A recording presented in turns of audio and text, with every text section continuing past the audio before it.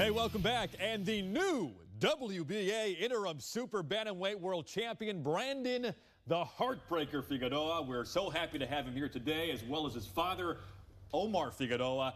Thanks for stopping by, guys. No, thank you. Thank let's start with you, Brandon. Saturday, you go to California. You're on national television. You fight Yonfres Parejo in a bout for that belt right there, and you yeah. come away with the win. At 22 years old, you're a world champion. What does that feel like? You know, it feels amazing. You know, it's something that I've been working on since since I was a little kid, and you know, all those hours in the gym, missing the holidays, birthday parties, you know, missing time with my friends. Um, you know, it, it all paid off. So, you know, I want to thank my dad for pushing me, you know, my team, my family, and all the supporters from the Valley, man. It's amazing on Facebook. They, they're nonstop, and, and they're relentless like me in the ring, and, and it's amazing the love and support they show me. Yeah, let's show some video from this fight. And this was a complete slugfest, Brandon. Yes, you went in there, both you guys were throwing punches left and right.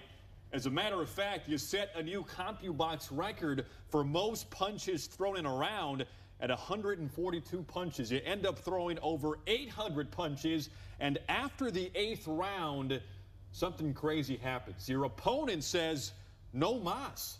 His corner throws in the towel. Were you surprised that Yonfres gave up like that? Um, you know, I, I knew I knew I was getting to, to, him. You know, those body shots, you know, all those punches, you know, they were accumulating, and I was hurting him. So, you know, I think it was a matter of time before he fell or his corner stopped it.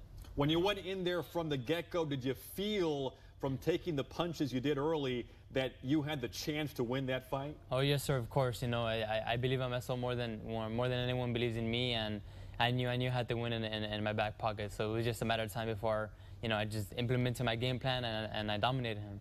A huge night for you as well as your dad Omar Figueroa. And dad, you're not just his father, you're also his trainer. You were in the corner Saturday night. What's it like for you watching your son throwing those punches back and forth with Parejo Saturday? Man, it's amazing. Um, now, a second, my second son, you know, becoming a world champion, it's something that I I dream of uh, being a, a, champion myself, but I'm leaving this through my kids and and now my younger son Brandon, which I didn't at first I didn't believe in him. He was so skinny, but you know what? He he proved me wrong. And look at which, where he stands now. Now at 22 years old, uh, becoming a, a world champion.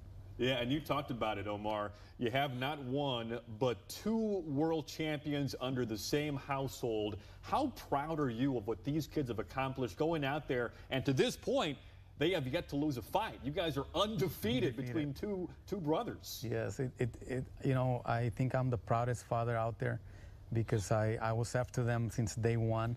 I saw them grow up. I, I, I changed pampers on them, and then and then as you feed them and taking a shower with them and then seeing them become world champions. I mean, number one in the world, and and both of them are my son. They have my blood, and and man, I'm I'm I'm super proud, super proud. All right, Brandon, you're now 19 and 0 with 14 knockouts. You're already a world champion. So so what's next for you this year? You know, just to take my time off right now. You know, enjoy my my victory, and you know, uh, next uh, I think the 26th uh, next weekend uh, they're gonna do unification bout between Daniel Roman and TJ Doheny, uh, a and the WBO. So uh, hopefully whoever wins from there, um, I'm gonna fight the winner so I can get you know two belts in one. So you know for sure I'm gonna work hard for that fight and I can't wait for it. And you guys were telling me off camera that fight could possibly happen right here in the Valley. How awesome would that be, Omar? It would be great because all his fans are, are wanting to go see Brandon here at home and and it would just be amazing. Uh, the, uh, I know uh, Weslaco East and Weslaco High uh, would go and support him. Uh, the town of, you know, Weslaco, I mean, the, the talk of the town was Brandon's, you know, uh, winning the belt, and imagine it's going to be packed. It's going to be great. This is awesome. Omar Figueroa, we've got Brandon Figueroa, the new WBA interim super bantamweight world champion. Thank you again for stopping by. We'll be right back after this.